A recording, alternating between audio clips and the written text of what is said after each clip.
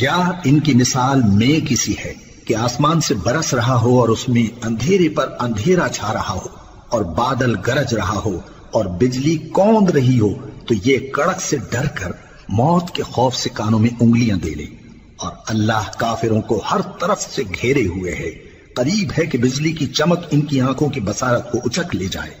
जब बिजली चमकती और इन पर रोशनी डालती है तो उसमें चल पड़ते हैं और जब अंधेरा हो जाता है तो खड़े के खड़े रह जाती हैं।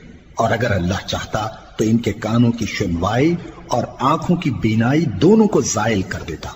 बिला शुबा अल्लाह हर चीज़ पर कादिर है। लोगों, अपने परवरदिगार की इबादत करो, जिसने तुमको और तुमसे पहले लोगों को पैदा किया, ताकि तुम उसके अजाब से बचो। जिसने तुम्हारे लिए ज़मीन को बिछोना और आसमान को छत बनाया और आसमान से मे बरसाकर तुम्हारे खाने के लिए अनवा अकसाम के मेवे पैदा किए। बस किसी को अल्लाह का हमसर न बनाओ, और तुम जानते तो हो।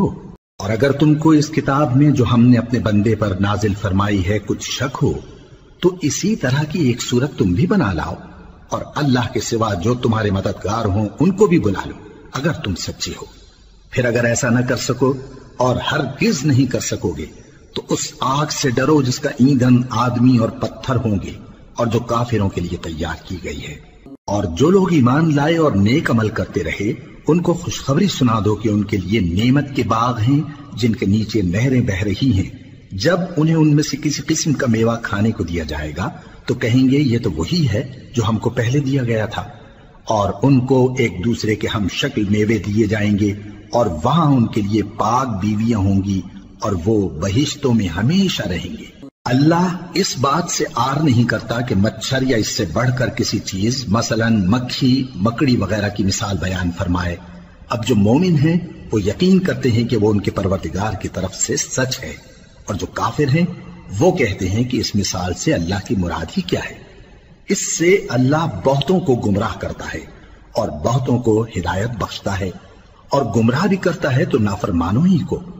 जो अल्लाह के इकरार को मज़बूत करने के बाद तोड़ देते हैं और जिस चीज़ यानी रिश्ते कराबत के जोड़े रखने का अल्लाह ने हुक्म दिया है, उसको कते किए डालते हैं और ज़मीन में खराबी करते हैं। यही लोग नुकसान उठाने वाले हैं। काफिरो, तुम अल्लाह से क्यों कर मुनकिर हो सकते हो? जिस हाल में कि तुम बेजान थे तो उसने तुमको जान बख्शी, फिर वही तुमको मारता है, फिर वही तुमको ज़िंदा करेगा, फिर तुम उसी की तरफ़ लौटाए जाओगे। वही तो है जिसने सब चीज़ें जो ज़मीन में हैं तुम्हारे लिए पैदा की। फिर आसमानों की तरफ़ मुतवजे हुआ तो उनको ठीक ठीक सात आसमान बना दिया। और वो हर चीज़ से खबरदार है।